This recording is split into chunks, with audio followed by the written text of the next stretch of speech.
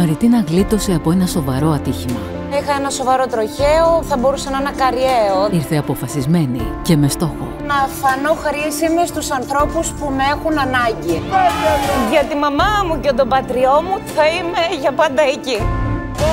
Πω, απίστευτο, παιδιά! Θα συνεχίσει να της χαμογελάει η τύχη. Τι κάνει σήμερα η Μαριτίνα, παιδιά! Deal Βλέπω τη 40 και τις 60 μέσα.